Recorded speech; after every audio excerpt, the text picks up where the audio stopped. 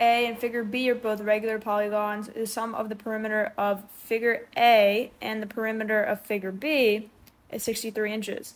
The equation 3x plus 6y is equal to 63 represents a situation where x is the number of sides of figure A and y is the number of sides of figure B. Which statement is the best interpretation of 6?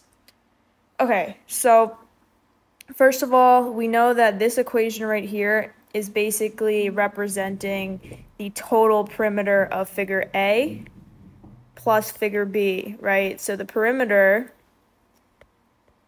figure A plus figure B is equal to 63.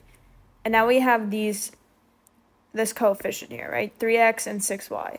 So we're only looking to interpret what is 6 in this situation. We know y is the number of sides.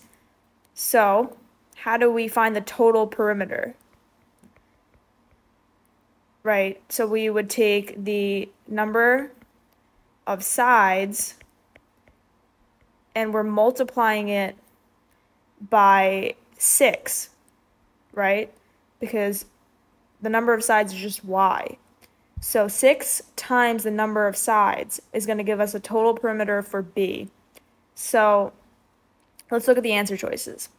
Let's start at the bottom. The number of sides of figure A is 6. Mm, this makes basically no sense, um, so it's not D again, 6y is related to b, so we only want answer choices related to b. So that's going to cancel out c2.